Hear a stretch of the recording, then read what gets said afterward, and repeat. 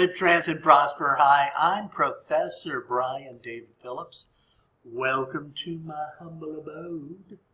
Uh, I've, today I'm going to discuss how to fix the scale errors for isometric maps on Owlbear Rodeo.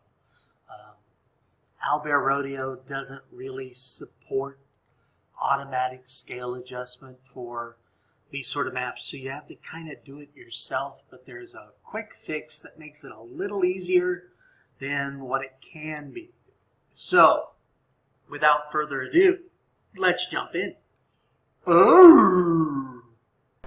Okay, I want to show a quick fix for the scale issue for isometric maps, characters, and tokens on Owlbear Rodeo. Owlbear Rodeo is a VTT, virtual tabletop, for playing RPGs, role-playing games, such as D&D, Dungeons and Dragons, or other uh, tabletop role-playing games. But here's the thing. When you use isometric maps, they're beautiful, but they get tricky and uh, there's no easy fix for them. And I'll give you an easier fix than what I used to do.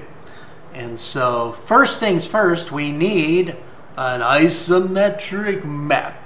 Uh, I'm lazy, so I'm just going to convert one from a regular map. So let's get ourselves a, a one-page dungeon. And I'll click on over here, I'll leave owlbear.rodeo and go over here to one page dungeon. Wow, what a bow! Uh, one page dungeon. I will put links in the description because I'm all about the giving. Alrighty, so this is a random dungeon generator and it's really quick uh, and you can set it up so that it has um, legends and information about the the area. And so that's kind of neat. I don't have the notes on. I will turn them off. Because I already have an idea of what sort of thing I want to do with my maps. Uh, uh, this is just a location for my stories. Uh, if you would like some story prompts, this is really nice to have those. And there are lots of options, so I can uh, turn on the grid, I can have dotted or dashed, I can check my uh, different things that I want to have. For instance, I want to have, uh, maybe I want uh, water and maybe I don't. But uh, it's real quick when you do it. New dungeon, boom, there it is. Brand new, dungeon. ooh, this is a nice map. Brand new dungeon, boom, that quick. Here's another one, boom, that quick. Now I'm going to do a demo, so I'm not really going to use a large one. Um, all of these are huge. Here's a small one, submerged in water. All right, so you get the idea just how quick you can make new maps, uh, which are often named with a paragraph about them. Nice, nice story prompts, that sort of thing. But I've already, um, so once you've uh, found one that you like, you can save it as a PNG or export it. And exporting, you can go to different types. Uh, I'm going to, I, I have already done mine and I've saved it as a PNG so I know where it's at and I know what I'm going to do. So let's go ahead and go into Photoshop so that we can play with this. And here's my Photoshop. And this is the map that I used. Uh, uh, very, very recently. And so you can see it's a very simple map. and I've got my Photoshop. You can use GIMP. GIMP is free. It's like Photoshop, but it's incredibly powerful and it's free. So free is good. Or whatever editor for photos and images you use. Now I've already imported it and I've uh, removed the title and the bits. So I've got a nice map here that I can then uh, convert into isometric. Uh, first things first though, I find this is easier at this step than to do it later when you have the isometric. And that is, I want to know how many of these five foot squares there are. What's the scale of my map? So I count across and I get 19 and I count up and down and I get 17. So 19 by 17 is the scale for my map and that'll come in handy later. Um, as I said, Owlbear Rodeo does not automatically take care of this. Uh, uh, Roll20, if you are on Roll20, it has an experimental, it is, it is in the pro version, in the beta test version, they are testing automatic support for isometric maps, which is cool. But Owlbear, which is very simple and which is the platform that I uh, have my students use uh, at the university because it's free and simple to use and we, we don't need the video and the audio for all that stuff because uh, we use Discord for the chat. So we just need a map function and we can run everything else with the other tools that we're using. So uh, I've got 19 by 17, so 19 width and the, the so rows and columns. All right, and so uh, one thing I then want to do is I want to image, uh, rotate, arbitrary, 45 degrees, clockwise, counterclockwise. I don't care which one you do. I use clockwise. Booyah. So now I've got my map is turned. I'm going to go ahead and uh, play a bit with that. I'm going to want to fill this up. So I have done that so it doesn't get messy. It doesn't look good and you can see that the map after the, the graphic is now 4045 by 4045. And what we want to do is we want to take the height number and change that, but we want to keep the width. So 4045, and we want to reduce that by 57.7%. So 4045 times 0.577 and that gives us 13466. Uh, we're going to round up 1347. Uh, all right, so I, I go to 1347, 1347, and my 4045 is the same. And now I will magically, booyah, and we have an isometric map. And of course, that's kind of silly looking.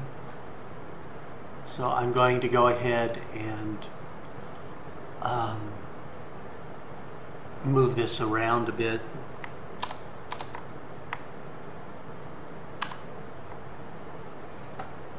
Let's scale this. That looks, the uh, top's okay. I just want to make sure about that size.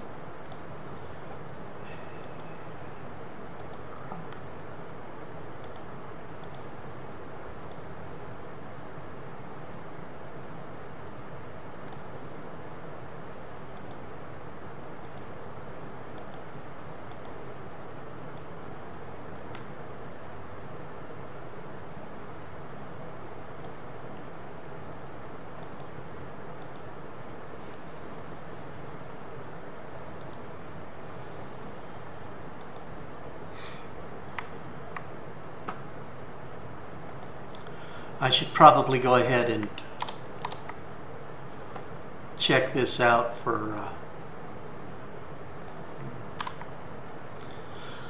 house. What's the size on it? Uh, it's not too bad. And I will save this file, save as. So I save it to another uh, map. Oops.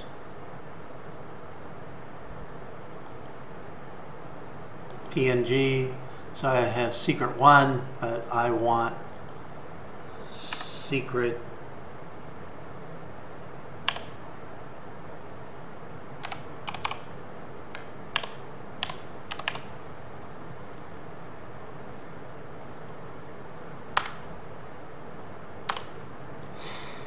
Now, if I really want to, I can also prep this a bit for uh, for the map. But I'm just going to show you this. You can prep your maps however you like.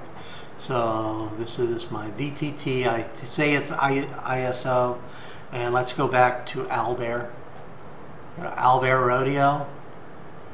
And I start a game.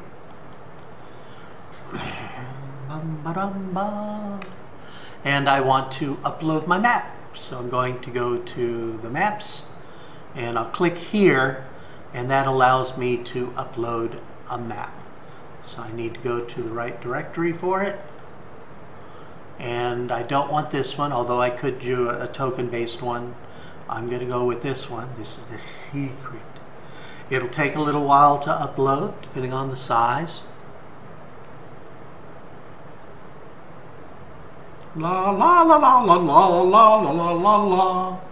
There it is. Uh, secret, I have the VTT, ISO, select that sucker, and there's my map. Yay! And obviously I'm going to want to populate it with creatures, and I probably would flesh this out a bit more have some things. So if I go over here where my ISO monsters are, and I just grab myself the skeleton warrior, She's awesome. And when I put her here, what happened? Why is she so tiny? She's so tiny. And, and that's kind of useless because my grid is not so tiny. And I would have to pull her up a bit. But this says she's 13 feet tall now. But she shouldn't be 13 feet tall. She should be something else. So that's because Owlbear Rodeo does not recognize my ISO. So here's what you want to do. You go into select map and in the map you hit this edit map bit. And now you can see that just move that so you can see here. I've got uh, 93 columns by 34. Wait a minute. I thought I had like a cross. Wasn't that 19 by 17? Ah, now you can measure things here, but how do you get that? This is a, ah, the grid type. Ah, chessboard grid type. We want to change the grid type to hex horizontal or hex vertical. So I'm going to go with hexagram vertical. And then for the grid measurement, I'm going to use Euclidean. Now I can have snap to grid or turn it off. I prefer to go ahead and do that. Now grid scale is over here and you can either change that for whatever your scale is. I wouldn't uh, original quality or you can downsize it. I'm going to stick with the original quality. Allow others, you can have the other people do all this stuff. Don't have them do fog. That's really for you as the dungeon master. All right, so we've done that, and now, or I mean, that's for regular, just trying to do it, but you can just do this. I can stick in my 19 and I can stick in my 17. So I've got, ooh, that's interesting. 19 by 17.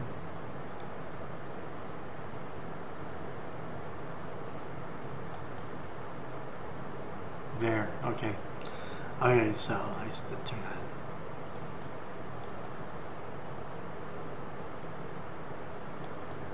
hex horizontal, Euclidean, 19 by 17.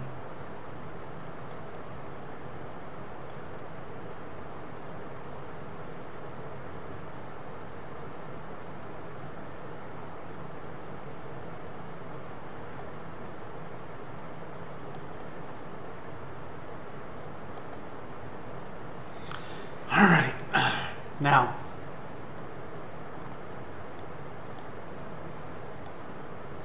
all right, so we saw how big the monster was, but what if we, we just moved a character down here? Boom. She's now fine. Uh, I could make that a little, I could make her a little short, but hey, she's five foot, ah, four foot, four foot. There you go. I could grab another, I'll grab her boyfriend Doug. Doug's that kind of guy. He's a little too tall. But uh, if I grab my monsters, so let's get rid of the characters, grab a monster, grab the same girl we grabbed before, Budma, and she fits on the map. You can still play with this, but you don't have to worry about it being quite so out of scale.